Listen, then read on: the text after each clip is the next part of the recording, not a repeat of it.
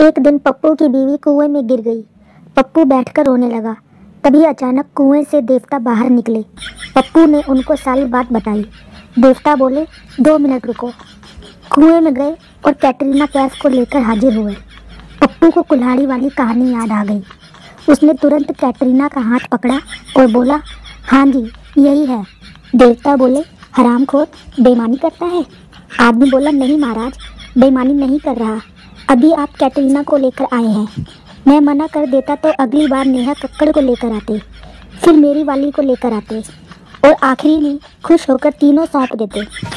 मेरी खुद की वाली ही तो पड़ोसियों के घर घूमती रहती है, तीनों को कैसे संभाल पाता? दो महिलाएँ बात कर रही थी। पहली बोली, बहुत साल पहले एक बाबा ने कहा था कि भगवान तुझे इतना देगा कि संभाला नहीं जाएगा। दूसरी महिला तो क्या हुआ?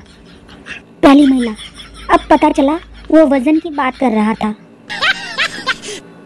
दोस्तों कभी कभी तो लगता है ये दौलत, ये शोहरत, तमाम ऐशो आराम त्याग कर संन्यास ले लूँ।